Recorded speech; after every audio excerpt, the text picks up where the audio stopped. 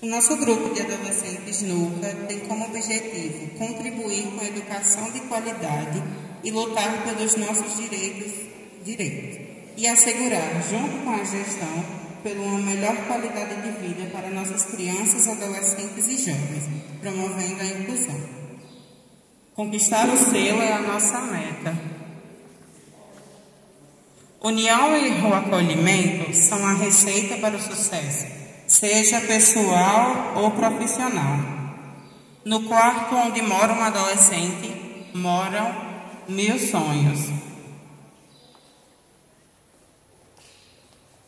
Amparar as crianças e adolescentes é apostar no futuro da nação.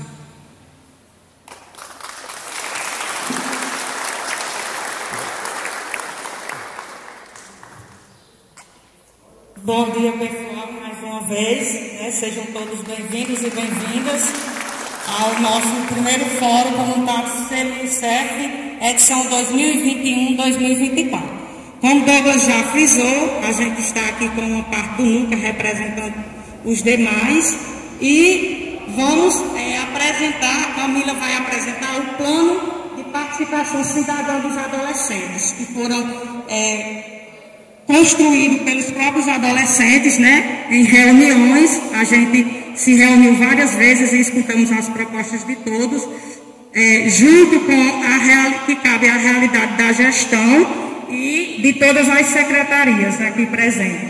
Então, Camila vai ler um pouco da participação, é, do plano da participação cidadã dos adolescentes. São adolescentes muito interessados com o protagonismo juvenil da nossa comunidade, é, é, adolescentes preocupados com a educação de qualidade e principalmente em levar todas as propostas da comunidade para o gestor e fazer com que a nossa cidade possa ser uma gestão muito mais melhor do que já é. Então, essa é a contribuição do NUCA para que nós possamos construir justamente, juntamente com o prefeito Célio e todas as secretarias, uma gestão muito melhor do que a gente já tem. Sabemos que temos uma gestão é, um olhar especial do gestor e junto com o NUCA, com certeza, ele vai acolher todas essas propostas e juntos vamos fazer uma Vieirópolis que alcance o selo do CEF, edição 2021 e 2024. Então é bom vocês prestarem atenção no plano, nas temáticas, porque depois vai ser discutido para que junto com o plano é, de participação cidadã a gente possa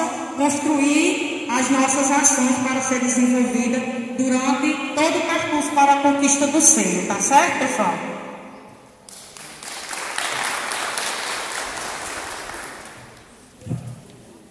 Temática sugerida pelo Unicef. Primeiro ponto, empoderamento de meninas e promoção de igualdade de gênero. Ação discutida e elaborada pelo NUCA. Realização de encontros que envolvam autoestima, maquiagem, cabelos, unhas, rodas de conversa, palestras direcionadas aos adolescentes com psicólogo abordando diferentes temas. Oficina de autocuidado com educador físico e um nutricionista.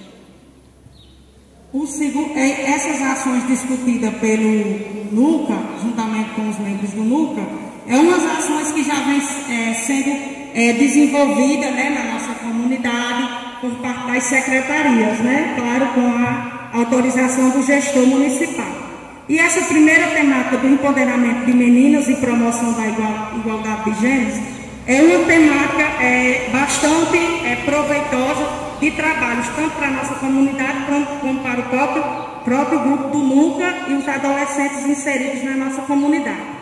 Nós temos o segundo, a segunda temática, prevenção da gravidez na adolescência, onde a gente já trabalhou junto com a Secretaria de Saúde, né? Com a Adriana e juntamente com Sexta e toda a sua equipe, na prevenção da gravidez na adolescência, onde Seifa, juntamente com os meninos, fizeram uma, uma, um movimento dentro da própria comunidade para que possa é, prever, é, conquistar, é, como é que se diz, fazer essa prevenção da gravidez na adolescência para os adolescentes da nossa comunidade.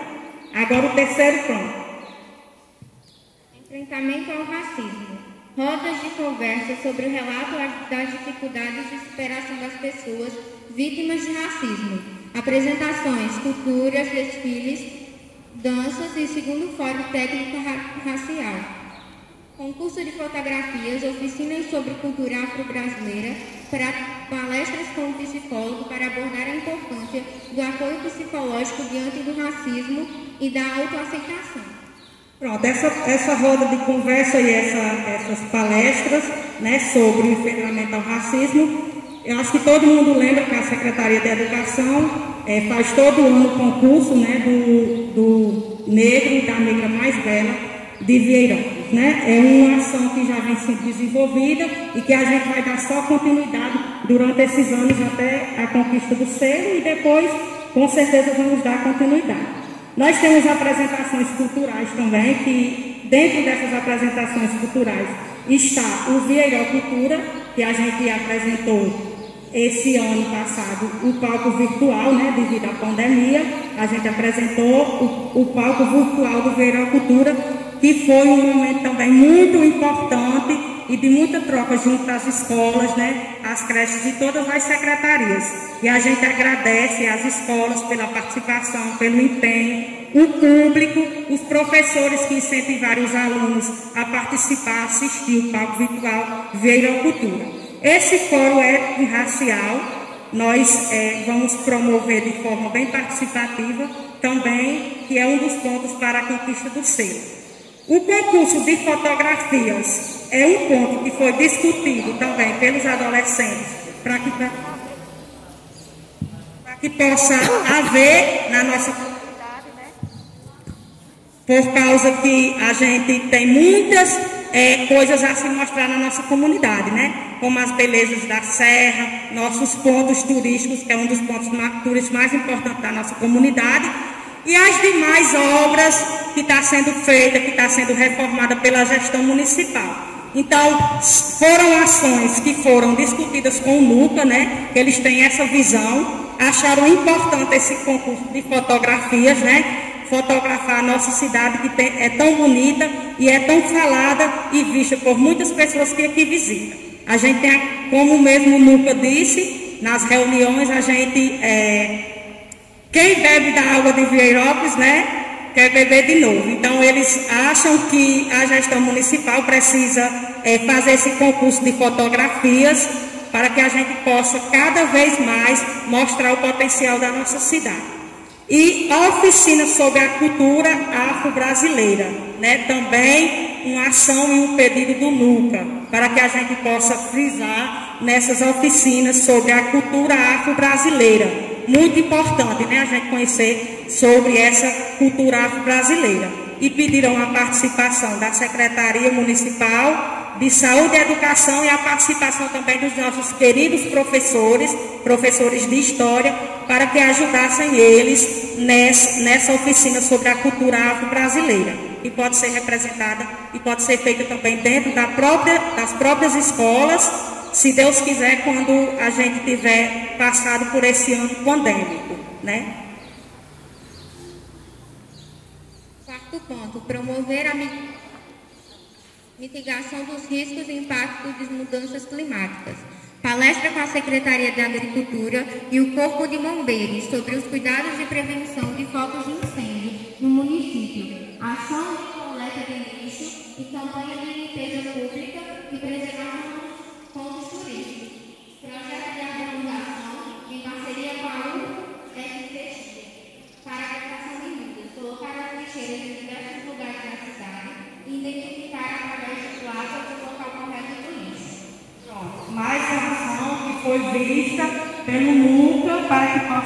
pudesse ser é, vista também pela gestão municipal, que é algo que já vem acontecendo na nossa cidade, né?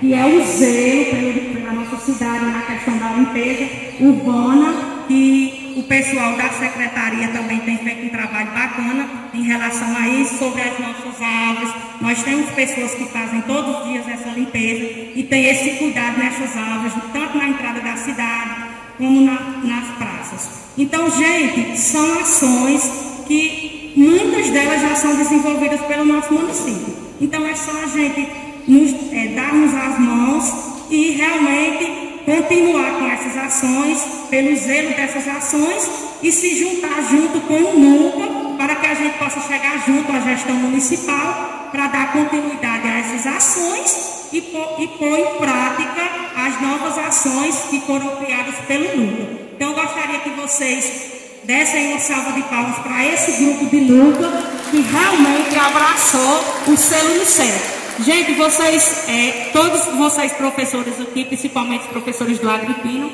que é, já conhecem né, essa equipe do NUCA, são meninos empenhados a realmente ajudar na gestão municipal por uma Vieirópolis muito mais melhor. Então, obrigada de coração a vocês e peço que vocês possam realmente abraçar esse grupo e junto com toda a gestão a gente ter com certeza a conquista do selo. Muito obrigada pela atenção.